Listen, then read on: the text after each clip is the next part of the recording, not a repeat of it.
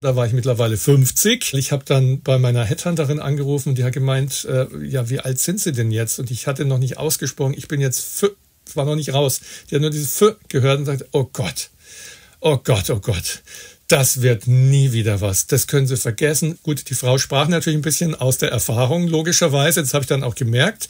Deswegen bin ich auch mittlerweile so ein bisschen renitent, was Altersdiskriminierung angeht oder das sogenannte Age-Shaming. Der Durchschnittsgrafiker in deinem Alter, der hat vielleicht weniger Energie als du, aber wenn man dich halt kennenlernt, dann weiß man, dass du mehr Energie hast als manch 25-Jähriger, weißt du? Also es ist ja, also es sind ja immer diese Statistiken, die die Leute in den Unternehmen, die für die Einstellung zu sind, ich weiß gar nicht, wie die heißen, Human Resources, nicht, die berechnen das ja quasi und man soll ja dann funktionieren und dann spricht die Statistik gegen einen, weil man entweder zu alt oder zu weiblich ist. Findest du das?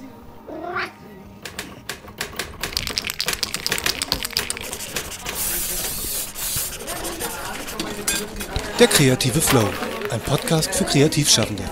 Von Roberta Bergmann.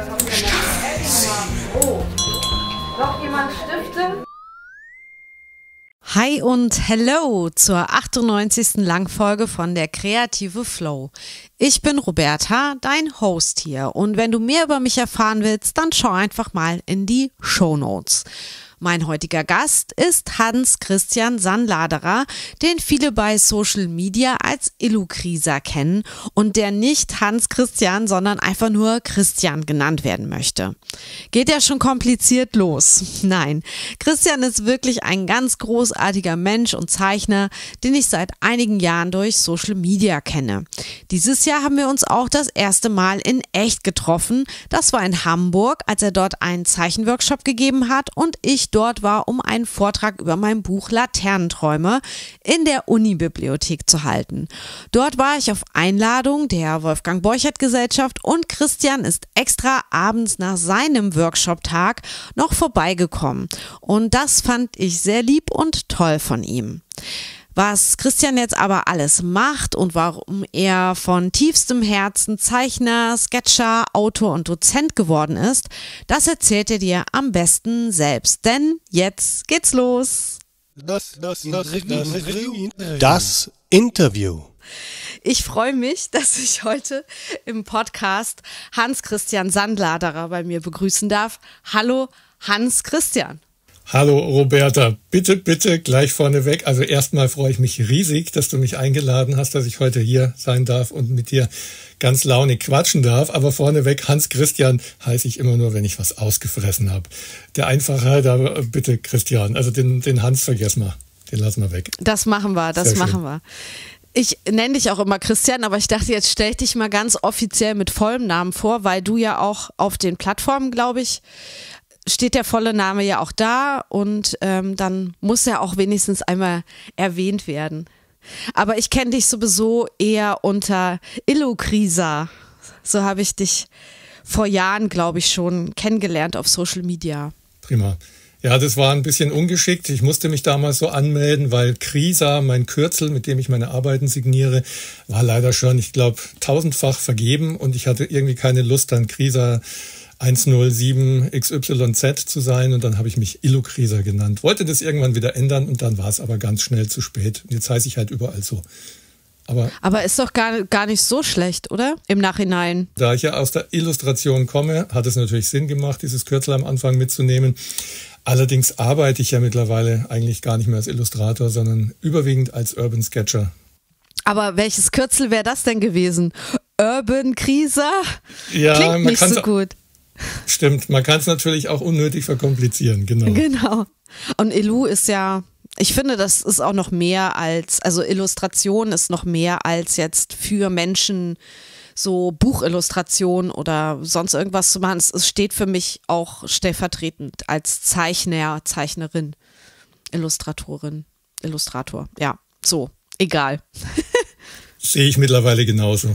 So, Christian, dann äh, fangen wir mal an. Wir haben ja viel vor. Du äh, hast ja viel erlebt in deinem Leben und ich möchte eigentlich alles wissen, aber ich glaube, das schaffen wir heute nicht. Deswegen versuche ich es ein bisschen einzugrenzen und fange an mit der Frage, erzähl doch mal, wie du zum Zeichnen gekommen bist. Also hast du das studiert oder bist du Autodidakt? Und äh, ja, wie ist so dein zeichnerischer Lebensweg ein bisschen? Also da muss ich jetzt ganz früh ansetzen. Ich habe natürlich ähm, Grafikdesign studiert. Ich wollte eigentlich Illustration studieren. Ich bin ja schon ein bisschen älter. Zu meiner Zeit damals gab es diesen separaten Studiengang Illustration, wie es ihn heute mehrfach gibt, leider noch nicht. Ich musste das also unter Grafikdesign studieren und mein Prof an der Nürnberger Kunstakademie, der hat immer gemeint, ah, diese brotlose Kunst, wenn ich euch nicht davon abhalten kann, ja, dann müsst ihr es halt machen, aber ich kann euch nur warnen, das wird alles nichts. Also war unglaublich motivierend, aber sowas hat mich ja immer schon angefuchst, wenn jemand gesagt hat, das kannst du nicht oder das passt nicht oder macht es nicht, weil dann habe ich immer überlegt, hm, warum eigentlich, warum eigentlich nicht? Also es war immer so ein Ansporn, quasi dann gegenzusteuern. Und deswegen haben drei Leute in meinem Studiengang, unter anderem ich, dann energisch ähm, sind in den Bereich Illustration gegangen, allen äh, Widerständen zum Trotz. Aber das fing natürlich bei mir schon viel früher an. Ich habe schon als Kind leidenschaftlich gerne gezeichnet und ähm, mein Vater war ja bei der Kripo in Garmisch. Der hat, jetzt ist es verjährt, der hat immer diese schönen, damals gab es noch Schreibmaschinen mit diesen langen Papierrollen. Der hat mir immer die angebrochenen Papierrollen mit nach Hause gebracht und die habe ich dann am Boden liegend voll gezeichnet mit allen möglichen Szenen, die ich mir ausgedacht habe. Und meine Mama war Kunstgewerblerin, die hat es auch immer gefördert. Also ich habe da äh, von, von zu Hause aus ganz viel mitgekriegt, was so die Leidenschaft am kreativen Ausdruck anging. Das wurde von meinen Eltern immer unterstützt. Insofern galt bei uns nie so ein Spruch, äh, mach was Vernünftiges oder ja, zwischendurch habe ich mal gehört, geh mal raus zum Spielen, es ist zu schön, um in der Bude zu hocken, aber ich habe wahnsinnig gern mich schon immer selber gerne beschäftigt mit Zeichnen, mit Malen. Das war so meine Welt von klein auf eigentlich immer. Und dann kam irgendwann mal ein Grafiker zu uns zu Besuch und dann hieß es, ah, der muss unbedingt Grafikdesign studieren. Und damit waren so ein bisschen die Weichen gestellt. Und dann habe ich mich halt so schlau gemacht, wo man da hingehen kann zum Studium. Und dann war ich an der, oder bin ich an der Nürnberger Kunstakademie gelandet und habe dort äh, parallel angefangen, Malerei zu studieren und Grafikdesign zeitgleich. Hatte aber die erste Kunstprofessorin an der Akademie, eine fantastische, ich nenne jetzt keinen Namen ganz bewusst, sie lebt noch zum Glück, ähm, eine ganz fantastische Bildhauerin, wunderbare Grafikerin, unglaublich tolle Zeichnerin, aber sie hatte echt Haare auf den Zähnen. Da sind also erwachsene Männer heulend aus, dem, aus der Klassenbesprechung rausgelaufen. Und also bei mir zum Glück nicht, aber sie hat einige, hat sie da ziemlich runtergeputzt. Und ähm, dann hieß es irgendwie, da wurde vor die Alternative gestellt, ähm, also entweder sie wollen richtige Kunst machen oder diese diese angewandte, also beides ginge bei ihr nicht. Da müsste ich mich entscheiden. Und dann habe ich gesagt, vielen Dank, schön, dass wir uns kennengelernt haben. Meine Entscheidung ist gerade gefallen. Ich mache ab sofort nur noch Grafikdesign. Das habe ich dann konsequent gemacht, abgeschlossen und dann Aufbaustudium für Illustration hinten dran gehängt, weil ich beim Studienfreund von mir in Nürnberg, das war so ein Aha-Erlebnis. Ich stand bei dem in der Wohnung. Der ist einer der erfolgreichsten deutschen Kinderbuchillustratoren ähm, gewesen. Michael Schober ähm, hat äh, bei, beim 120. Kinderbuch habe ich aufgehört mitzuzählen. Ähm, und der hat irre viele tolle Illustrationen bei sich als Original hängen gehabt. Und das war so ein Aha-Erlebnis, dass ich damals gedacht habe, boah, das ist es. Ich will überhaupt nicht in dem Bereich Grafikdesign. Ich möchte Illustrationen machen. Da will ich hin. Und dann habe ich eben ein Aufbaustudium für Illustration in New York hinten dran gehängt. Ich hatte mich eigentlich in London beworben und ähm, natürlich an der am Royal College of Art und das sollte aber nicht sein und am Central St. Martins hatte ich vorgesprochen, die waren auch ganz ähm, interessiert. Da habe ich mich dann blöderweise nicht beworben, da war die Bewerbungsfrist dann allerdings rum, als es am äh, Royal College nicht geklappt hatte. Und da habe ich gedacht, bevor ich jetzt noch ein Jahr länger verdrödle, mache ich was anderes und ich bin dann aufs Geradewohl nach New York und habe das quasi alles selber finanziert ja, hinterher war, war dann ein bisschen weniger Geld auf dem Konto, aber dafür war ich um viele Erfahrungen reicher und ich möchte es auf gar keinen Fall missen. Also wann war, das? Also wann warst du in 92, New York? 92, 93 das war so die Zeit Anfang der 90er Jahre. Ja, krass. Da war das New York auch noch ein anderes, als es jetzt ist. Mit ja, Sicherheit, ja. Definitiv. Also ich habe noch im Original das Windows on the World kennengelernt von einem meiner ja, ich will nicht sagen Vorbilder, aber von einem ganz tollen Multitalent, äh, Milton Glaser, steht ja auch ein ganz tolles Buch bei mir im Regal hier. Kunst ist Arbeit heißt es auf Deutsch, ich schaue gerade drauf. Ähm, und der hat ja dieses Windows on the World, also dieses fantastische Restaurant in einem der Zwillingstürme ganz oben, hatte er gestaltet. Wie wir alle wissen, gibt es es natürlich nicht mehr, logischerweise. Ähm, ja, das habe ich damals noch im Original angeschaut und fand es natürlich ganz beeindruckend. Hm. Und wie lange warst du in New York dann? Also ein ins, Jahr oder? Nee, ins, leider nur neun Monate. Es war quasi nur so eine Episode sozusagen, selbstfinanziert. Also ich habe mir das, äh, kann man ja machen, so schön rausgepickt aus dem Studium, was mich interessiert hat an Kursen und die habe ich halt belegt und äh, selbst gezahlt. Ja, und dann ähm, spielte das Leben ein bisschen mit rein. Dann habe ich erfahren, dass ich Vater werde und ähm, hab dann, äh, dann haben wir überlegt, ob wir alle ähm, unsere Zelte in New York aufschlagen oder ob ich wieder nach Deutschland zurückkomme. Und meine Frau war da schon nach Leipzig, der Neugierde halber. Ich habe beim Umzug, bevor ich nach New York bin, geholfen und bin dann direkt von New York in das äh, Leipzig, das noch damals äh, baulich im Originalzustand der ehemaligen DDR war. Ja. Das war ein kleiner Kulturschock, aber ich habe diese Zeit in Leipzig sehr genossen. Es wurden dann in, immerhin 14 Jahre. Unsere mhm. Tochter ist da auch groß geworden, lebt heute wieder da, bin ich auch ganz froh drüber, weil für mich Leipzig eine der schönsten Städte Deutschlands geworden ist. Also ich kenne die vom, vom Ursprung her und dann ist es ja wie Phönix aus der Asche wieder auferstanden. Hat sich ganz toll entwickelt. Und wie hast du dann nach deinem Studium und dem Aufbaustudium dein Geld verdient, dein erstes? Also hast du dann erstmal als Grafikdesigner gearbeitet oder konntest du schon zeichnen und damit Geld verdienen? Äh, ich habe ziemlich früh ähm, einfach meine äh, eine Mappe zusammengestellt. Also ich wusste ja, ich möchte in den Bereich Illustration gehen und ich war immer ganz neugierig. Ich habe mir im Zeitschriftenhandel immer alles angeschaut, wo wird viel illustriert. Damals gab es ja zum Beispiel die Zeitschrift Finanztest von Stiftung Warentest. Das war so eine der wenigen ähm, Publikumszeitschriften, die von A bis Z komplett illustriert waren. Und das war natürlich super. Da hat jeder Illustrator hat da Wert drauf gelegt, da irgendwie einen Fuß reinzukriegen. Also es war so ein kleines Haifischbecken. Jeder wollte da unbedingt mitmischen und, und mitarbeiten. Ähm, und es gab ja noch viele andere Zeitschriften, die damals auf Illustration gesetzt haben. Und das habe ich mir am Zeitschriftenstand angeschaut. Dann habe ich ähm, tatsächlich so kleine Städtetouren ausgemacht ab dem zweiten Semester. Habe eine Mappe vorher zusammengestellt, so ein bisschen gezielt geschaut, was könnte denn da passen. Und dann hatte ich immer so Städtetouren, so zwei Tage Köln, äh, zwei Tage München oder Berlin, Düsseldorf, immer wo so die Hochburgen der Verlage waren, Hamburg natürlich. Und damals noch ohne Google Maps und ohne Internet. Kannst dir vorstellen, mit einem aufgeschlagenen Stadtplan auf dem Schoß unterwegs zu sein, ähm, ohne äh, Hilfe vom Beifahrersitz aus. Ich war ja allein unterwegs und habe mir dann immer so einen Zeitplan gemacht, wie lange ich wahrscheinlich ungefähr von Verlag zu Verlag brauchen würde, habe die Termine ziemlich eng ähm, getaktet und habe dann also natürlich musste ich öfter mal anrufen und sagen, Entschuldigung, ich stecke gerade noch im Stau, ich komme eine Viertelstunde später, hat aber alles super funktioniert. Und ich habe erstaunlicherweise von diesen ganzen Städtetrips, ich habe das mal so runtergerechnet, hatte ich wirklich so eine 50-prozentige Erfolgschance. Also bei 50 Prozent äh, dieser ganzen Gespräche sind dann hinterher Aufträge entstanden. Nicht immer zwangsläufig direkt, das waren die wenigsten. Manche haben irgendwie drei Jahre später angerufen und gesagt, sie haben sich doch damals bei uns in Hamburg im Verlag so und so vorgestellt, wir hätten jetzt ein passendes Projekt für sie. Und ich habe irgendwie gedacht, wow, das kann ja wohl nicht wahr sein. Der hat dich völlig abgeschrieben. Jetzt melden die sich drei Jahre später. Es war also echt der Hammer.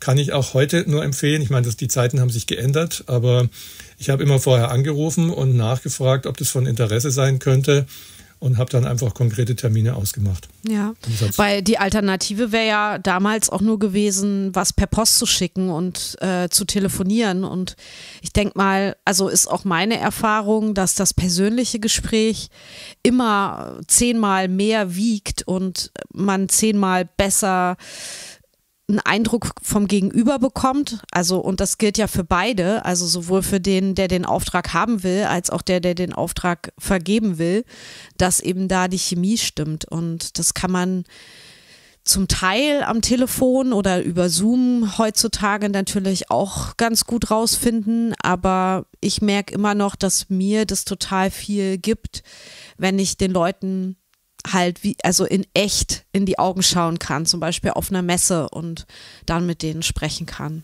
Also das sehe ich ganz genauso. Ich kann mir ja gut vorstellen, dass das, dass das gut funktioniert, aber es ist halt auch eine krasse Sache zu entscheiden, okay, ich fahre da jetzt hin oder ne, du hast es ganz professionell aufgezogen. Ich mache jetzt die, die Städtetouren. Also finde ich aber auch einen großartigen äh, Tipp. Ich weiß nicht genau, ob sich Verlage oder Agenturen da heute noch so viel Zeit nehmen würden oder ob die das eher befremdlich finden würden, wenn einer sagt, nee, kein Zoom, ich komme vorbei. Aber auf der anderen Seite ähm, haben sie ja trotzdem nicht großartig mehr äh, Aufwand, ne? weil man kommt ja, ja. zu ihnen weil du es gerade so, weil du es gerade so schön ansprichst. Also ich sehe das ganz genauso mit dem Zwischenmenschlichen. Mir ist es auch am liebsten, wenn man so von Angesicht zu Angesicht miteinander reden kann. Aber du hast es gerade vollkommen richtig ähm, gesagt. Ich glaube, in der heutigen Zeit ticken die ein bisschen anders. Das hat sich einfach ähm, verselbstständigt so ein bisschen. Also es ist ähm, oder hat an Geschwindigkeit zugenommen und die die Taktungen, wo man da tatsächlich Zeit findet, da solche Grünschnäbel wie mich damals auch noch persönlich antanzen zu lassen, die werden ja immer kürzer und die sind immer seltener. Ich habe das ja in New York auch gemerkt. Da gab gab es ja eine ganz andere Politik. Da hast du deine Mappe, da gab es eine sogenannte Drop-off-Policy, da habe ich mir natürlich auch beworben. Da hattest du feste Tage, wo du beim Pförtner unten im Verlagshaus im Wolkenkratzer deine Mappe äh, abgeben konntest und an einem bestimmten Tag dann wieder aufsammeln konntest. Jetzt hattest du natürlich keine zehn Mappen zur Verfügung, du hast ja nur eine gehabt. Und wenn diese Taktung dann relativ lang war, war das halt ärgerlich, weil in der Zwischenzeit konntest du dich nirgendwo anders vorstellen. War total bescheuert eigentlich. Und dann habe ich irgendwann habe ich gemerkt, hm, ich hatte irgendwie das Gefühl, die Mappe hat gar niemand wirklich angeschaut, weil diese Artdirektoren natürlich auch, die hatten ihre festen Termine logischerweise und dann hatten die halt mal in dieser Woche einfach keine Zeit, in neue Mappen reinzuschauen. Da habe ich mir so wirklich den Scherz gemacht, da so kleine Klebezettel oder so Zettel an einer bestimmten Zelle, äh, Stelle so leicht anzuhaften, um hinterher zu kontrollieren, ob die auch wirklich angeschaut wurden. War halt manchmal wirklich nicht der Fall. Also es ist dann, es war die Kehrseite. Aber ich war dann eigentlich immer schon ziemlich hartnäckig bei Geschichten, die ich wirklich äh, wollte. Ich habe zum Beispiel ja bei Ritzenhoff, habe ich gesehen damals, also bei der Firma, ähm, die ähm, Glas- und Porzellandekor und alle möglichen Geschichten gemacht hat.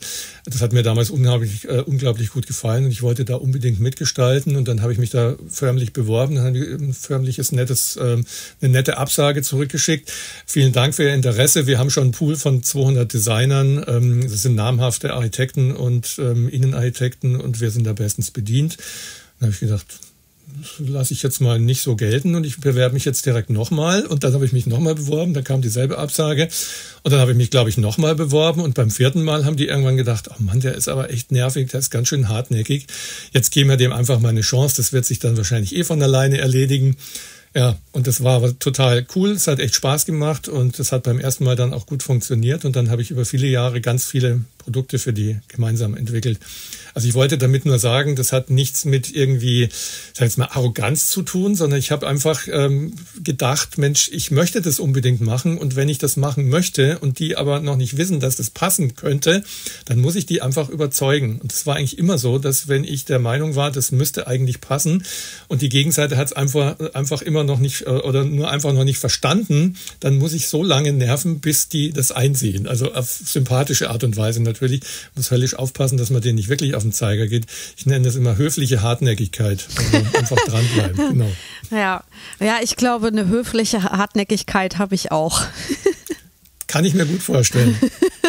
Genau. Ja, die ist, man braucht die aber auch, glaube ich, ja. im Business. Wenn man sich immer sofort äh, geschlagen gibt oder immer sofort dann aufgibt, nur weil vielleicht ein Redakteur einen schlechten Tag hatte oder ähm, dem das gerade irgendwas quer schlägt, was gar nichts mit einem zu tun hat oder mit der ja. Leistung, die man bringt.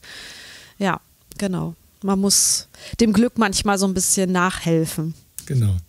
Ja, man braucht auch ein dickes Fell logischerweise am Anfang, weil ich habe natürlich auch, kennst du ja wahrscheinlich auch, ich habe am Anfang bei den ersten Vorstellungsrunden mit der Mappe, habe ich immer gehört, dass die Leute gesagt haben, ja, ist ganz schön, aber das sind ja alles freie Arbeiten, haben Sie denn schon mal was veröffentlicht? Und dann habe ich gesagt, nee, deswegen bin ich ja hier. Also ich, ich stelle mich ja vor, damit ich endlich mal was veröffentliche. Ja, dann kommen Sie wieder, wenn Sie was veröffentlicht haben. Und das habe ich so oft gehört, dass mir irgendwann der Kragen geplatzt ist, dass ich echt gesagt verdammt nochmal, den Spruch höre ich andauernd, wie soll ich denn mal was Veröffentlichtes, äh, was Veröffentlichtes äh, präsentieren können, wenn mir jeder diesen gleichen Satz hinschmettert. Und das hat dann gefruchtet tatsächlich. Also der fand es cool, dass ich das dann so rausgehauen habe. Und das war mein erster Illustrationsauftrag, ein richtig schöner damals auch zum Einstieg für den Feinschmecker, für dieses Hochglanzmagazin. Und gleich eine ganzseitige Illustration mit ein paar kleineren Illustrationen dazu. Äh, ich habe eigentlich gedacht, das wird dann so die Regel, war aber tatsächlich die Ausnahme. Gerade bei Zeitschriften mal so eine ganzseitige Illustration zu kriegen, da kannte ich mich noch nicht so richtig aus. Und äh, da hab damals ja noch mit Fax und dann hast du die Aufgabenstellung bekommen, dann musstest du so, ein, so eine Bleistiftskizze dahin faxen und dann haben die äh, gesagt, ist okay oder ist nicht okay. Und was sagt dieser Mann bei meinem ersten Auftrag zu mir? Hm, das können Sie mit Sicherheit besser. Und ich dachte irgendwie, Ach du Schande, toll, das geht ja schon gut los. Also ich war so richtig erstmal so geknickt und gleichzeitig sauer und da habe ich mich mit dieser geballten Energie nochmal dran gesetzt, also so diese Melange aus allen möglichen Gefühlen, mhm. Stinkwut im Bauch und auch eine mega Enttäuschung natürlich und habe die nächste Skizze gemacht und was muss ich, ich kann nur sagen, der Mann hatte recht. Also es war aber diese ganze Energie, die da mit reingeflossen ist, natürlich war ihm hinterher, war ich ihm wirklich dankbar, dass er mich dann nochmal angefixt hat. Und bin dann stolz wie Oscars, werde ich nie vergessen, an den Zeitschriftenstand gegangen, damals in meinem Heimatort. Und am liebsten hätte ich jedem der Anwesenden gesagt, übrigens hier in dieser Zeitung und so, mein erster Illustrationsauftrag habe ich natürlich nicht gemacht. Aber es war einfach ein irre schönes Gefühl, damals die erste aller, allererste veröffentlichte Illustration, die gedruckte Illustration in so einer Zeitung oder Zeitschrift, kennst du natürlich auch. Und das Gefühl hat eigentlich nie nachgelassen. Das war immer so ein Glücksgefühl, egal was irgendwie realisiert worden ist, wenn man dann das fertige Produkt in den Händen hält, das ist immer einfach ein mega tolles Gefühl. Muss ich dir mit Sicherheit nicht sagen. Hast du äh, noch auf dem Schirm, was du dafür bekommen hast? Oh, da müsste ich jetzt echt lügen. Ich will jetzt auch nichts Falsches sagen. Es waren ja okay. noch D-Mark-Preise. Ja, ja, ich, das habe ich mir gedacht. Boah. Vielleicht so 1000 D-Mark oder nee, so? Nee, es waren irgendwie, ich, ich meine, es waren 1500 D-Mark, meine ja. ich bin nicht mehr ganz sicher. Ist ja, ja, ist ja schon ein paar Tage, ein paar Tage her, genau. Ja, weil ich glaube, früher gab es vielleicht auch mehr Geld, könnte ich mir vorstellen. Also es gab ja so eine so eine Hochphase der der Werbeagenturen und wo Werbung auch so unfassbar gut bezahlt war und alle äh, Werbeakteure auch unfassbar viel Geld verdient haben. Und ähm, ich glaube, jetzt ist es viel schwieriger geworden, ähm, diese Preise, die damals Usus waren, so zu, zu halten oder zu vertreten. Ja. Habe ich gemerkt. Das hat natürlich auch viel, hat ja mit der Digitalisierung dann auch ähm, zugenommen an Illustratoren, die plötzlich auf den Markt äh, geschwemmt wurden, die vorher gar nicht unbedingt was damit machen wollten, die sich halt mit der Software auskannten und sich da ein bisschen reingefuchst haben. Du konntest ja dann wunderbar als Quereinsteiger ja auch in dem Bereich arbeiten und deine Leistungen anbieten. Ob die dann auf einem ähnlichen Niveau waren, äh, spielt ja wieder eine ganz andere Frage. Das ist im Grafikdesign genau das Gleiche, was sich dann damals alles Werbeagentur genannt hat. Auch in Ostdeutschland nach der Wende gab es ja, also wenn es von allem so viel gegeben hätte wie Küchenstudios, äh, Autohäuser und Werbeagenturen, dann und Baumärkte. Dann wär, und Baumärkte, genau, dann wären das ganz schnell sofort blühende Landschaften geworden. Ja. Jetzt kennt man dich ja als vor allen Dingen als jemand, der sein Wissen weitergibt in Kursen und Workshops und auf Social Media. Wann hast du denn angefangen, diese Seite für dich zu entdecken, also das Wissen weiterzugeben? Wie lange machst du das schon? Vielleicht so rum gefragt. Ja, ich mache das erst seit fünf Jahren, wobei ich ein bisschen Was? ausholen muss. Ja, ich mache das, ich mach das erst seit fünf Jahren. Ähm, ich habe dazwischen ja ganz viele andere Dinge gemacht. Ich mache das mal kurz im Schnelldurchlauf, damit, mhm. ich, äh, damit ich nicht irgendwas vergesse. Ich habe, wie gesagt, für die ganze Redaktions- und Zeitungslandschaft damals illustriert in ähm, ja im alten und dann auch später nach der Wende im neuen Deutschland sozusagen. Ähm, also für die unterschiedlichsten Redaktionen für Frauenzeitungen, Cosmopolitan und Petra und ähm, für die Bunte und für die Zeit in Hamburg und für den Fokus und für Finanztest, wie gesagt, und für mein Kind und ich, Gruner und ja, ganz viele Produkte, ganz viele unterschiedliche Zeitschriften und Zeitungen und habe aber gleichzeitig auch viel für Werbeagenturen illustriert und habe damals von Leipzig aus ganz viel für den Mitteldeutschen Rundfunk gemacht. Mhm, die und sitzen hab, ja da ähm, auch. Genau. Und mhm. hatte dort einen Mega-Auftrag für einen Illustrator. Ich durfte damals, also wer das Gelände heute kennt, ist ja hypermodern, dieser wunderschöne alte Schlachthof, äh, Schlachthof, wo das äh, Hauptgebäude des MDR steht in Leipzig in der Kantstraße. Das war damals noch komplett unsaniert. Und da stand mittendrin so ein Plattenbau, so eine, so, so eine containerartige Geschichte, wo die Marketingabteilung untergebracht war und hinten dran fing gerade das neue Hochhaus aus, äh, an, quasi Formen oder Form zu bekommen. Und ich hatte ganz viel Illustrationsaufträge und dann hatten die die tolle Idee, mir einen Auftrag zu geben für ein äh, Prospekt und für ein Plakat, das Gelände des Mitteldeutschen Rundfunks so zu zeichnen, wie es denn später mal aussehen würde. Und das war ein Mega-Auftrag, war natürlich auch gut honoriert und war unglaublich viel Aufwand. Und ich kam mit der fertigen Illustration hin und dann hieß es, ah Mensch, toll, dass Sie gerade da sind. Uns ist die Grafikerin abgesprungen. Der Satz hätte mich schon hellhörig machen sollen, aber ich habe nicht genau hingehört.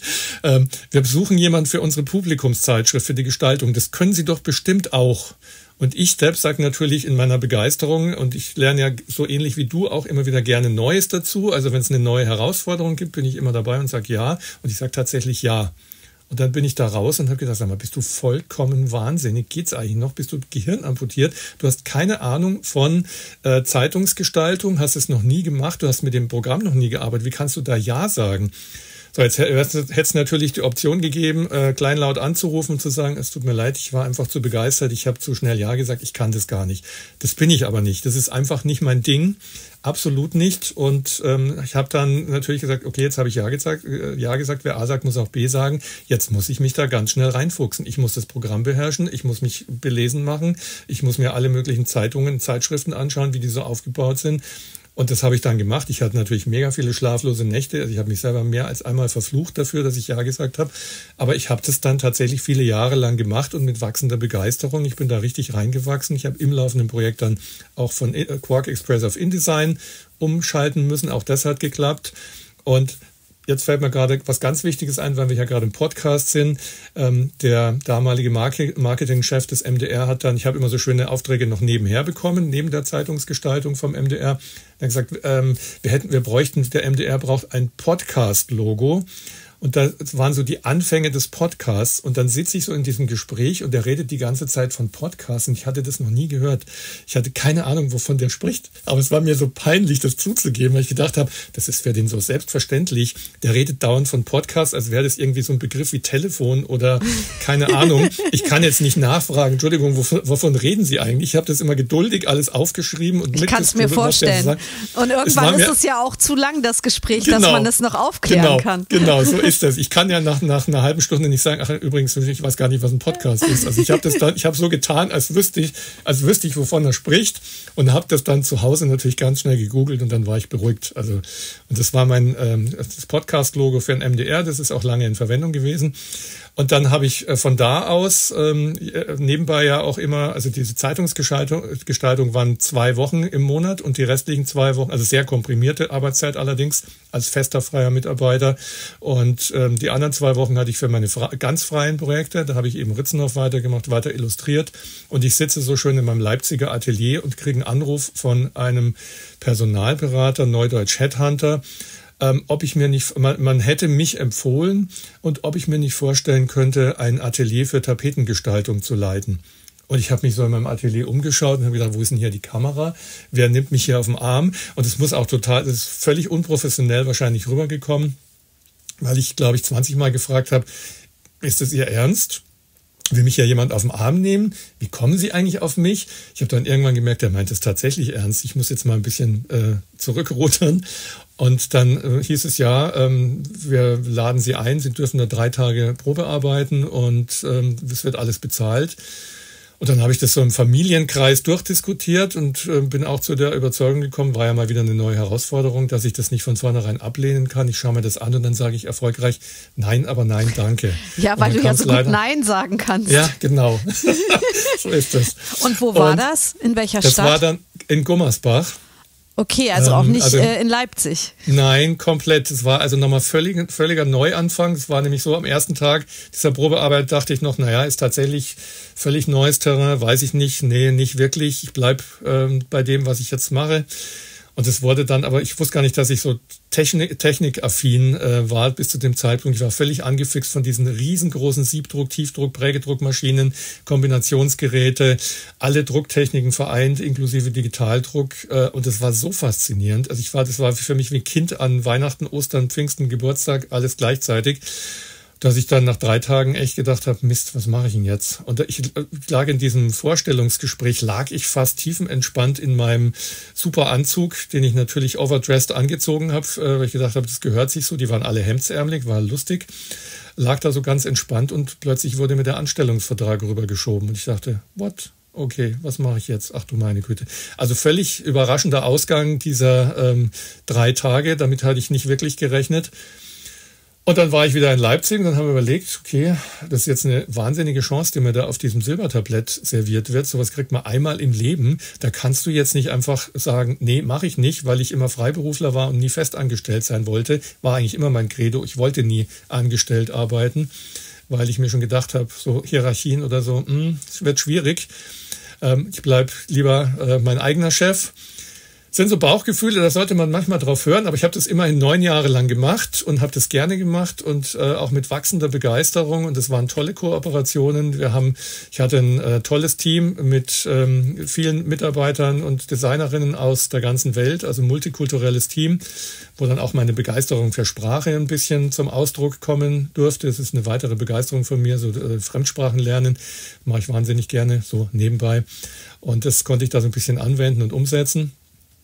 Und ähm, wir hatten tolle Kooperationspartner, Esprit, also wir, wir, da wurden ähm, Tapetenkollektionen für Esprit entwickelt, für Schöner Wohnen, für Brigitte, für Jette Job, für ähm, Gianni Versace, für Michael Michalski, ähm, keine Ahnung, es waren also unglaublich tolle äh, Kooperationen.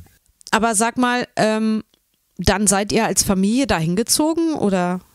Ich bin ein Jahr lang gependelt. Also ich habe das Los der vielen Pendler geteilt über ein Jahr und das war nicht lustig, weil wenn man Freitagabends noch in der sogenannten Vorstandsrunde sitzt und die geht meistens bis in die Puppen äh, und dann schafft man es irgendwie gerade noch zum Zug oder zum vorgebuchten Flug. Und dann ist man, äh, fliegt man oder fährt äh, Freitagabends nach Hause. Es sind ja, waren ja 500 Kilometer dazwischen ungefähr und kommt dann, wenn man Zugverspätung hat oder den Anschlusszug verpasst, irgendwann Samstagmorgens am Leipziger Hauptbahnhof an, wo man dann freudestrahlend in Empfang genommen wird und hat einen Tag mit der Familie, da muss dann alles Friede, Freude, Eierkuchen sein, da muss alles stimmen, weil man nur diesen einen Tag am Wochenende hat und am Sonntag äh, ist man gedanklich schon wieder am Packen, weil es spätestens am äh, frühen Sonntagnachmittag wieder äh, in die andere Richtung geht. Und es war kein Zuckerschlecken, das war nicht angenehm, das würde ich auch niemandem empfehlen, das längerfristig zu machen. Es war fast ein Jahr. Und dann hat die Familie gesagt, nee, das geht so nicht weiter. Also entweder, ähm, also in irgendeiner Form muss jetzt ein Cut her. Und dann haben die mich im Bergischen Land besucht. Und dann war meine Tochter damals zwölf, auch total pferdebegeistert, meine Frau auch. Da waren überall Pferde. Und haben alle gesagt, oh, wir müssen sofort umziehen. Und dann haben wir uns hier was gesucht. Und deswegen bin ich jetzt hier ganz idyllisch, äh, idyllisch äh, mitten im Grünen. Ich sag's immer mal so plakativ am Arsch der Welt, aber am schönen Arsch der Welt gelandet.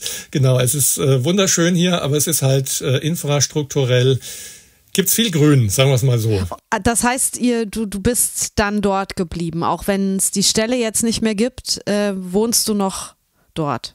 Genau, du hast was vorweggenommen. Die Stelle war dann irgendwann weg mit der ersten Ukraine-Russland-Krise. Das waren nämlich die beiden wichtigsten Kunden. Da sind die Umsätze rapide eingebrochen. Wann Und war das? Das war 2014, also mhm. als äh, quasi so die, äh, die ähm, erste Krise dort herrschte. Und dann sind die Zahlungen ausgeblieben und dann mussten ganz viele Mitarbeiter freigesetzt werden. Ja, und da war ich auch einer davon und da war ich mittlerweile 50. Und das war, war dann ganz lustig, weil ich habe dann bei meiner Headhunterin angerufen und die hat gemeint, äh, ja, wie alt sind Sie denn jetzt? Und ich hatte noch nicht ausgesprochen, ich bin jetzt, war noch nicht raus. Die hat nur dieses F gehört und sagte, oh Gott, oh Gott, oh Gott das wird nie wieder was. Das können Sie vergessen. Oh sie sind, sie sind tot. Also das, sie kriegen kein Bein mehr auf dem Boden. Ich dachte, sag mal, geht's noch? Ich war so richtig, so total auf Krawall. Das kann ja wohl nicht wahr sein. Mhm. Äh, den zeige ich. Da kennt sie äh, dich aber das, schlecht. Genau, genau. Das kann ja wohl nicht wahr sein. Wie kann man mir sowas um die Ohren hauen? So ein Blödsinn. Gut, die Frau sprach natürlich ein bisschen aus der Erfahrung, logischerweise. Das habe ich dann auch gemerkt. Deswegen bin ich auch mittlerweile so ein bisschen renitent, was Altersdiskriminierung angeht oder das sogenannte Age-Shaming. Das habe ich nämlich tatsächlich erlebt. Äh, ich bin ja jetzt zum Glück wieder Freiberufler. Ich hätte das ganz schnell selbst wieder machen äh, sollen. Ich habe ich hab ja jahrzehntelang gewusst, dass man als Freiberufler gut überleben kann, war aber natürlich irgendwann in, dieser, in diesem Status drin als Atelierleiter. Ich hatte mich auch an das gute Honorar, an die gute Bezahlung gewöhnt, an das alles, äh, womit das, das Ganze verbunden war und hat irgendwie gedacht, ich muss auch, ich muss es jetzt auch der Familie bieten, dass das weitergeht. Ich, ich brauche wieder sowas ähnliches falscher Gedanke, falscher Ansatz und habe mich natürlich dann in meinem reifen Alter beworben und hatte dann aber auch Rückmeldungen, ähm, die ähm, sich dann irgendwie gehäuft hatten. So, Tino war immer so zu alt, zu teuer, kann zu viel. Tatsächlich, der Mann kann zu viel. Das musste ich mir anhören. Das hat einer auch wirklich gesagt. Das fand ich cool. Ein Geschäftsführer, nenne jetzt den Namen nicht, der hat gemeint, ganz ehrlich, sagt es normalerweise niemanden. Aber wenn ich sie einstellen würde, ich müsste mit, einem Klammerbeutel gepudert sein. Ich hätte jeden Tag Angst, dass sie in meinem Stuhl sägen. Habe ich gesagt, das kann ich Ihnen schriftlich geben, dass ich nicht äh, Geschäftsführer Ihres Unternehmens werden will. Ich möchte nur für den Designbereich zuständig sein. Es hat ihm aber äh, nicht genügt, aber es fand ich, es hat mir nicht wirklich geholfen, aber es war halt eine, mal eine Aussage, mit der ich irgendwas anfangen konnte. Und eine irgendwann habe ich bei, Aussage. Eine tröstende Aussage, genau. Und irgendwann habe ich gedacht, Mensch, du musst ja auch in Deutschland, das wissen viele gar nicht, du musst weder ein Be Bewerbungsfoto mitschicken, noch musst du dein Geburtsdatum angeben. Diese Regelung ist nur freiwillig. Die hat sich halt so eingebürgert, deswegen erwartet es jeder. Dann habe ich gedacht, jetzt habe ich die Faxen dick, ich bin dauernd zu alt, jetzt lasse ich es einfach weg. Äh, Foto äh, weggelassen, Geburtsdatum weggelassen, dann kam eine Rückmeldung vom Job, wo ich wirklich gedacht habe, Mensch, das wäre der absolute Hammer, da würde ich so gut reinpassen. Dann kam zurück, Mensch, toll, was Sie für ein Portfolio haben, super und die Erfahrung, Sie wären genau der Richtige für uns. Ich kann mich, ich kann Sie mir sehr gut in der Position vorstellen. Sie haben nur leider vergessen, Ihr Geburtsdatum und das Foto wegzulassen. Können Sie es bitte noch nachreichen? Ja, an dieser Stelle endet die Geschichte auch schon, kannst oh. du dir oh. denken. Ich habe nie wieder was von diesem Unternehmen gehört. Ich war natürlich total sauer. Ich war mhm. richtig wütend, habe dort versucht, die zuständige Dame zu erreichen. Die war dann ständig entweder nicht am Platz oder sie war gerade im Urlaub, in der Besprechung, heute leider krank, sie ruft zurück gab es natürlich nie. Also deswegen fixt mich das Thema tatsächlich an. Das wird so ein bisschen unterschätzt in Deutschland das Thema Age-Shaming oder, das ist so ein blöder neudeutscher Begriff, ich nenne es einfach Altersdiskriminierung. Man kann es einfach mal so deutlich benennen. Und da wird man wahrscheinlich in Zukunft auch noch so ein bisschen was von mir hören, hin und wieder mal auf Social Media. Ich habe mich da jetzt auch so ein bisschen äh, witzigerweise ähm, connected, sagt man so schön neudeutsch, also ähm, verbunden mit äh, jemandem, der das auch, die das auch sehr ähm, energisch macht und demnächst auch ein Buch dazu rausbringen wird. Ähm, Finde ich auch ganz spannend. Ja, es wird langsam ein bisschen Zeit, äh, dass wir ein bisschen rebellischer werden. Wir Älteren, also ich meine natürlich mich damit, nicht äh, dich um Gottes Willen, sondern ältere Menschen in meiner, in meiner Generation und darüber hinaus. Wir werden immer mehr werden demografisch und dann hat sich das irgendwann auch ein bisschen eingespielt. Dann wird diese, dieser Jugendwahn der, oder Jugendkult, dem immer noch gefrönt wird, der wird dann ganz schnell ähm, Vergangenheit sein. Es geht auch gar nicht um Gegeneinander, es geht um ein Miteinander. Es geht darum, dass es gemischte Teams gibt in Unternehmen, dass dass sich alt und jung ergänzen, austauschen, sich gegenseitig befruchten, einfach an ihren Erfahrungen teilhaben lassen. Das wäre wäre für mich die perfekte Symbiose. Aber immer nur zu sagen, wir haben ein junges Team und du hast ein gewisses Verfallsdatum und kannst deine ganzen Erfahrungen gar nicht einbringen. Ich hatte noch nicht mal die Chance, bei den meisten Bewerbungen irgendwo persönlich vorzusprechen, damit die gemerkt hätten, Mensch, der Mann, der strotzt ja nur so vor Energie, der will noch und der hat noch richtig Bock und der möchte ja. mit anpacken die Chance hatte ich gar nicht, das unter Beweis zu stellen. Aber ich habe mich dann eben es sind Sorry. ja Vorort, äh, nee, es sind ja Vorurteile. Also, ne, weil im Normalfall oder der Durchschnittsgrafiker äh, in deinem Alter, der hat vielleicht weniger Energie als du, aber wenn man dich halt kennenlernt, dann weiß man, dass du mehr Energie hast als manch 25-Jähriger, weißt du? Also es ist ja, es hat ja eigentlich nichts mit dem Alter zu tun, statistisch gesehen könnte man das halt meinen, dass das so ist und da, da, davon oder daher schließen die ja dann darauf, dass das bei dir auch so sein wird, ne? So wie jede Frau äh, Mitte 20 vielleicht auch nicht so gerne eingestellt wird, weil die kann ja noch Kinder kriegen und dann fällt sie ja aus. Also das sind ja immer diese Statistiken, die die, die, die ähm, Leute in den Unternehmen, die für die Einstellung zu sind, ich weiß gar nicht, wie die heißen, Controller oder so, keine Ahnung, oder Human Resources, ich weiß nicht, wie die, äh, die, die berechnen das ja quasi. Äh, und man soll ja dann funktionieren. Und dann spricht die Statistik gegen einen, weil man entweder zu alt oder zu weiblich ist. Ja, ja, das ist ganz genauso. Und diese Altersdiskriminierung, du hattest, hattest das gerade kurz angesprochen, die geht natürlich in beide Richtungen. Also die betrifft ja auch junge Leute, dass man eben sagt, ja, die sind noch viel zu jung, die sind zu unerfahren, das sind Grünschnäbel, die haben keine, die haben keine Ahnung davon. Das ist genauso gefährlich. Also man muss da aufpassen, dass man eben nicht zu sehr verallgemeinert. Und da ich ja immer ähm, oder sehr häufig gehört habe, der Mann kann zu viel oder es wurde so unterschwellig angedeutet, habe ich gesagt, na gut, wenn ich eh schon zu viel kann, dann kommt es jetzt auch nicht mehr drauf an, dann packe ich jetzt noch was oben drauf Ich habe ganz viel Erfahrung im Printbereich, in allen Drucktechniken. Jetzt möchte ich endlich mal wissen, wie das Online-Business funktioniert. Ich habe keine Lust mehr, immer von der Generation meiner Tochter erklären zu lassen, wie das alles funktioniert, Social Media und Co. Und dann habe ich eine Weiterbildung zum Online-Redakteur gemacht, auch als zweitältester in dieser Runde.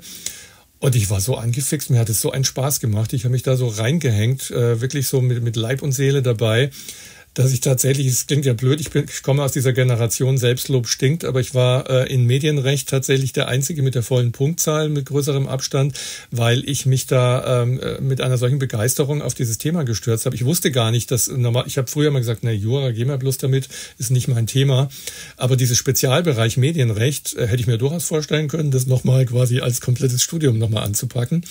Aber dann kam zum Glück ähm, so ein Aha-Moment und jetzt komme ich endlich auf die Beantwortung deiner anfänglich gestellten Frage. Super.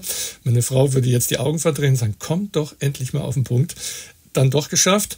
Du, ich habe ähm, dich hab, reden lassen, ne? Hast du gemerkt? Das ist super cool von dir. Ich finde das so genial. Ich danke dir dafür ganz herzlich. Mega. Komm zum Punkt jetzt. Ich komme zum Punkt. So, ich habe dann im Internet ähm, ähm, recherchiert, was ich denn so anfangen könnte mit meinem Leben. Ich hatte ja ganz viele unterschiedliche Ideen, äh, ganz viele Strippen gezogen und bin dann durch Zufall, es gibt ja keine Zufälle, es gibt ja immer nur Dinge, die einem zufallen, ähm, ähm auf der Website von Artist Travel gelandet und habe mir das so angeschaut und das war so ein Aha-Erlebnis für mich, dass ich gedacht habe, boah, Hammer, warum habe ich das nicht schon viel früher in meinem Leben entdeckt?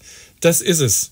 Das will ich machen. Das ist der Hammer. Sofort bewerben. Hat mich da aus, ich äh, fackel dann auch nicht lang. Ich habe, glaube ich, am, am gleichen Tag noch die Bewerbung rausgeschickt und habe auch überhaupt nicht darüber nachgedacht, wie viele Anfragen die vielleicht kriegen könnten und ob das überhaupt was wird. Ich habe da nicht dran gerüttelt und nicht weitergedacht, sondern einfach beworben.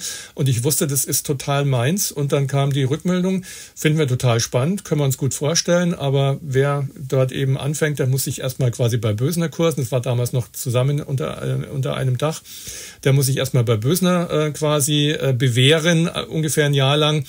Und das habe ich dann gemacht und das hat mir so einen Spaß gemacht. Und ich habe immer schon geahnt, dass so das Unterrichten mein Ding sein könnte. Aber so Lehrer an der Schule konnte ich mir nie vorstellen, weil da sitzen ja keine Leute drin, die da freiwillig sitzen und, das, und dir gerne zuhören und vielleicht auch noch sogar dafür bezahlt haben, dass sie dir zuhören.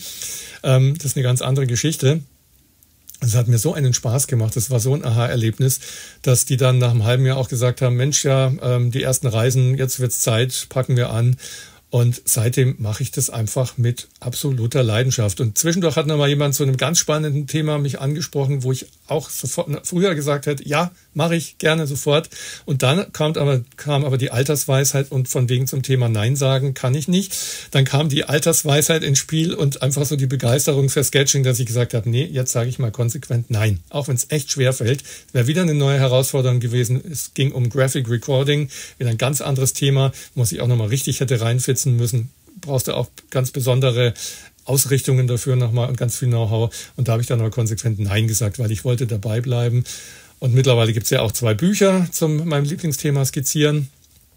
Äh, Floral Sketching und Nature Sketching und es wird hoffentlich auch weitere Bücher geben.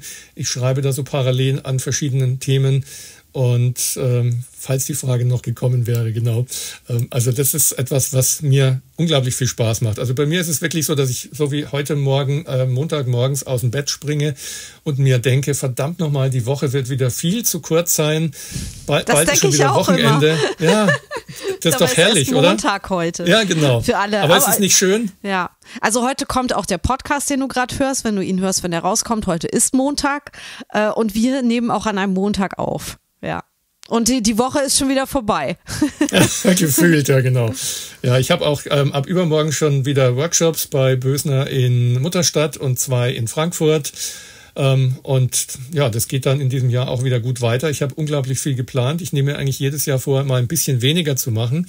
Es klappt irgendwie nicht so richtig, weil die Begeisterung immer mit reingrätscht. Und da kann ich dann leider nicht Nein sagen, wenn jemand äh, mich fragt, hättest du nicht Lust, auch wieder einen Workshop in Venedig zu machen? Sag ich, ja Gott, Venedig, es war so ein Traum letztes Jahr, natürlich. Also Venedig findet auch definitiv statt, ist schon gesichert.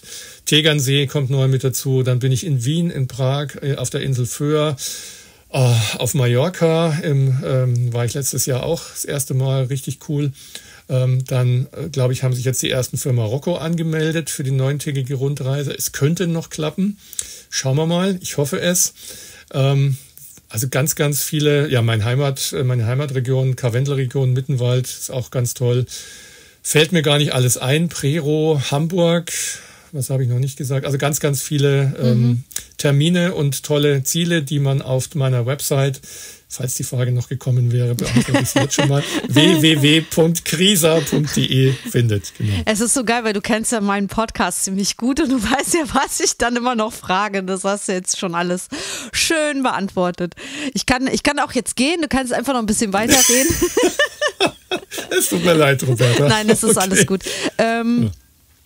Äh, ich wollte aber auch noch was fragen. Und zwar, äh, was ich die ganze Zeit denke, was äh, ja vielleicht auch noch interessant ist. Ich meine, du bist so viel unterwegs.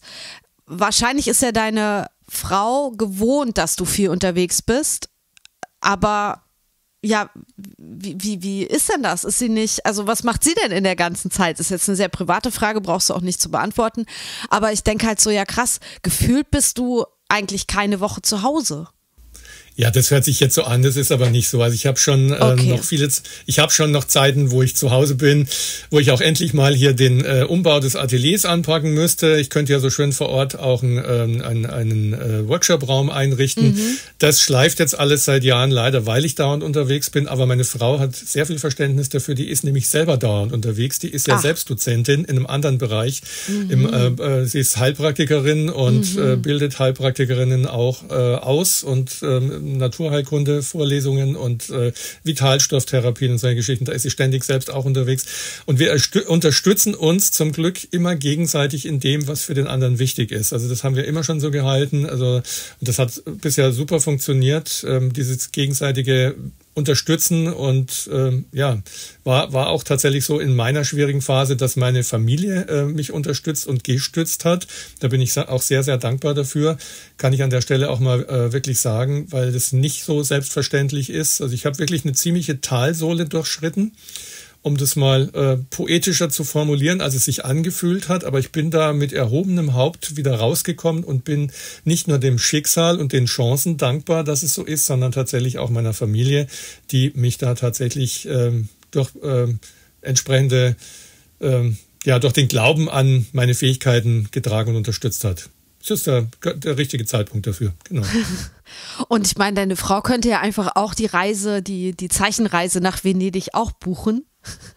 Dann könnte sie dich ja begleiten. Habt, habt ihr das schon mal gemacht? Das werden wir tatsächlich jetzt mal machen, ähm, weil du das ansprichst. Es ist tatsächlich auch witzigerweise Venedig. Also genau darum Ach, geht's.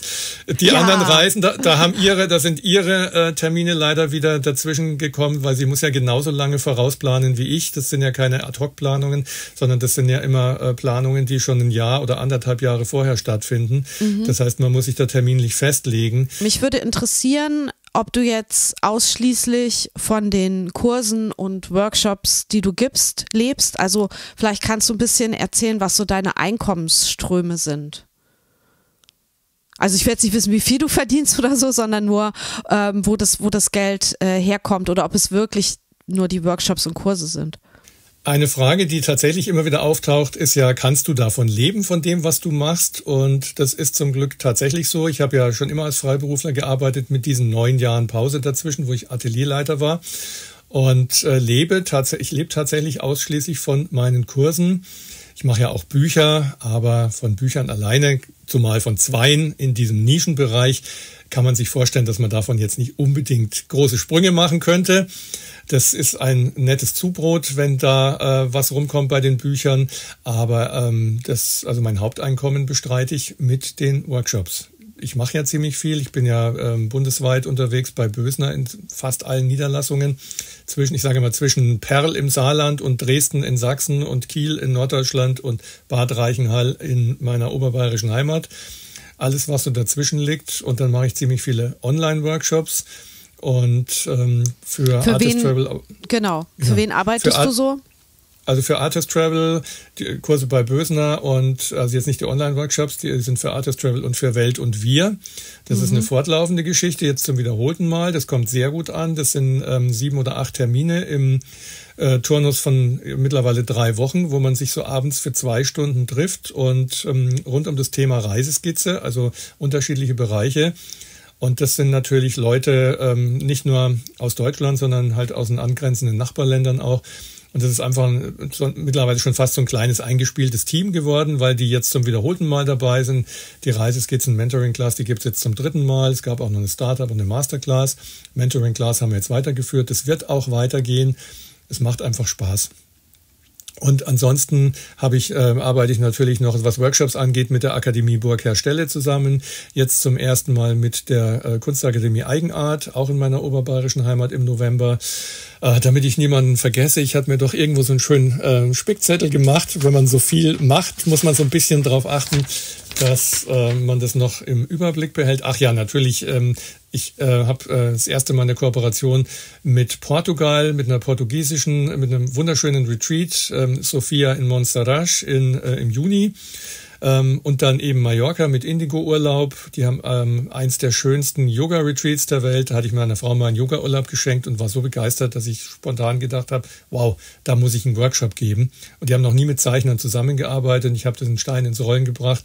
Und ähm, ja, die waren dann auch ganz angetan. Und dann kam aber leider Corona. Das ist also die ersten zwei, drei Mal ist es leider gescheitert. Aber letztes Jahr hat es zum ersten Mal stattgefunden, war wunderschön. Und jetzt muss ich gerade drauf schauen. Ja, ganz neu ist mit dazugekommen, was mich mega freut, weil ich immer wieder gefragt wurde, warum machst du denn auch nicht mal Kurse für Kinder?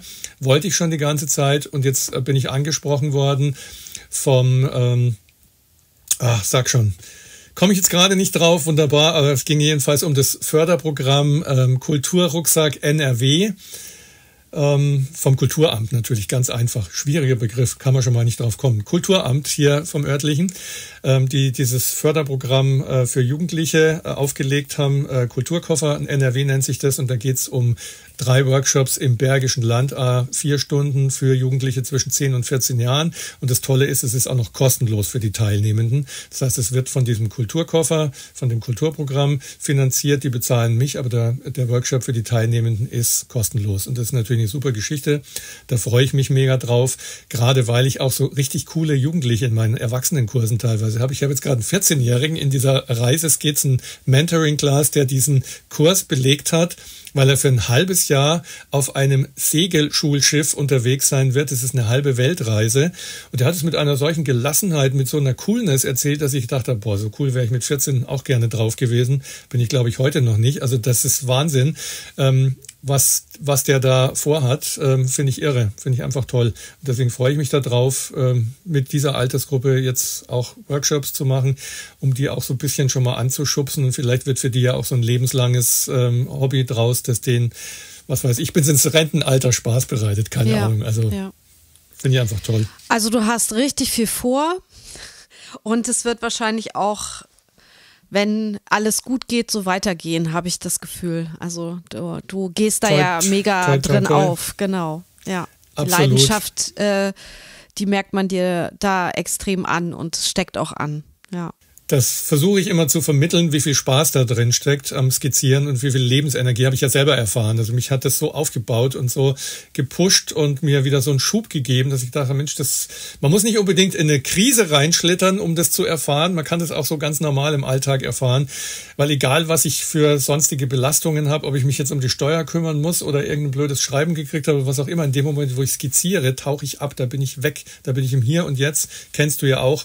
Alles um mich rum kann ich vergessen ähm, und es macht einfach mega viel Spaß. Mir fällt gerade ein, zwei Workshop-Locations habe ich noch vergessen. Friendmeisters in Nürnberg, zwei Tage und Co-Art 81 in Bremen. Da gebe ich auch jeweils zwei Workshops. Also ich mache auch so natürlich Kooperationen mit befreundeten oder noch nicht befreundeten, in der Zukunft vielleicht dann KünstlerInnen, die Ateliers zu vermieten haben. Ähm, das macht natürlich auch Spaß. Ja, Christian, also vielen Dank dass du das alles erzählt hast und ich werde das weiter beobachten. Ja, also wir haben uns noch was überlegt für euch, die ihr zuhört. Und zwar würde der Christian ähm, jeweils ein Exemplar seiner beiden Bücher Floral und Nature Sketching verlosen hier im Podcast. Und alles, was du tun musst oder was ihr dafür tun müsst, ist mir eine E-Mail zu schreiben an hallo at derkreativeflow.de bis vier Wochen nach Veröffentlichung dieser Folge. Und ähm, in die Mail könnt ihr auch gerne schon eure Postadresse reinschreiben. Und der Betreff ist natürlich wichtig. Das ist ähm, Buch Christian. Und dann würde ich nach den vier Wochen zwei GewinnerInnen äh, auslosen und der Christian würde euch dann sogar die Bücher signieren und dann bekommt jeder, also es gibt zwei GewinnerInnen und dann jeweils ein Buch geht dann an jeweils einen Gewinner, eine Gewinnerin.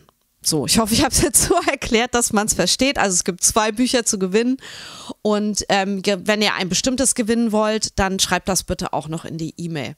Und alle Infos dazu, genau wie zu meinem tollen Gast heute, dem Christian, findet ihr auch nochmal in den Shownotes dieser Folge. So, und damit sind wir jetzt punktgenau am Ende ähm, angekommen. Und ja. Oder deine letzten Worte, Christian, was wolltest du noch sagen? Ich fand's total cool, hat mega Spaß gemacht. Ich kann noch gar nicht glauben, dass wir wirklich schon am Ende sind. Ich muss es wohl akzeptieren, auch wenn es schwerfällt. Ich hätte jetzt gerne noch zwei Stunden mit dir weitergequatscht. Wobei du Arme ja wir können ja sagen, wir, wir machen noch ein kleines ähm, entweder Follow-up oder Follow-before, keine Ahnung, wie das heißt, äh, Follow-down auf Instagram. Wir können noch ein Instagram Live zusammen machen, wo wir ähm, auch auf die Podcast-Folge, auf die gemeinsame hinweisen. Wie, was findest, wie findest du das? Sehr coole Idee. Dann alle, klasse. die das jetzt hören, weil das lasse ich so drin. Ihr könnt äh, uns natürlich auch bei Instagram folgen. Illu Krisa mit CH für den Christian und der kreative Flow oder Roberta Bergmann für meine Accounts. Und Christian und ich werden uns dann nochmal auf Instagram treffen, so um den Veröffentlichungszeitpunkt dieser Folge und werden dann nochmal ein bisschen weiterreden und uns hoffentlich nicht wiederholen.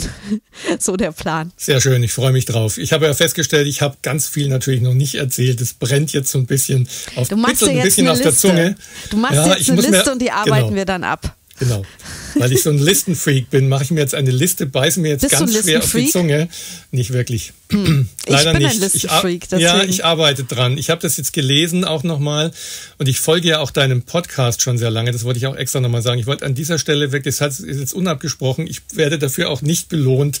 Ähm, ich muss der Roberta einfach mal stellvertretend Danke sagen, weil äh, das ist einfach nötig. Du machst dir so viel Arbeit und steckst so viel Energie rein. Auch bei dir merkt man, dass du dafür brennst, überdeutlich. Und ich finde das super cool und es wird von vielen irgendwie so ein bisschen selbstverständlich genommen, für mich gar nicht, weil ich ansatzweise ähm, nachvollziehen kann, wie viel Arbeit da drin steckt. Und ich genieße das mittlerweile einfach. Früher habe ich mir gedacht, oh Gott, ich muss zum nächsten Workshop, bin fünf Stunden mit dem Auto unterwegs, wird wieder ätzend. Jetzt weiß ich, yay, ich habe fünf Stunden Zeit, den Podcast der kreative Flow zu hören. Nee, ich, ohne Quatsch, ich freue mich da regelrecht drauf. Äh, ich höre den auch teilweise, wenn ich nur kurz zum Einkaufen fahre, wenn es nur fünf Kilometer sind. Es macht mir einfach Laune weil das Dankeschön. stimmt nicht so richtig ein. Ja, Dankeschön. Danke ja, dir. und äh, für Menschen wie äh, dich mache ich das auch, die dann so, so freudig sich auf jede Folge freuen. Genau.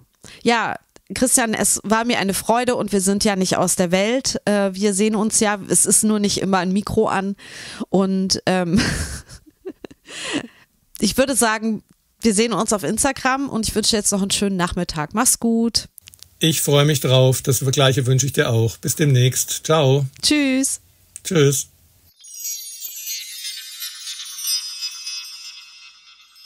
Lieber Christian, das hat Spaß gemacht. Hab Dank für deine Zeit und deine tolle Art. Ich schätze es sehr, dich als Kollegen zu haben und mich mit dir austauschen zu können. Danke auch für deinen Support bei Steady, den ich jetzt einfach hier so ganz frech offenlege. Alle Infos zu Christian findest du auch nochmal in den Show Notes der heutigen Folge. Und noch ein kleiner Wunsch von mir an dieser Stelle. Wenn du mehr Inhalte der Kreative Flow wünschst, dann abonniere doch meinen Newsletter. Der kommt so circa alle zwei Wochen zu dir ins Postfach. Den Link findest du in den Show Notes. Und wenn du noch mehr tun willst, dann supporte mich gern bei Steady. Und du kannst es erraten, ja, auch diesen Link findest du in den Show Notes. Ich wünsche dir jetzt eine kreative Woche und sage Tschüss, bis nächste Woche, deine Roberta. Und ein rechter Maler, klug und fleißig, trägt stets einen spitzen Bleistift bei sich. Wilhelm Busch.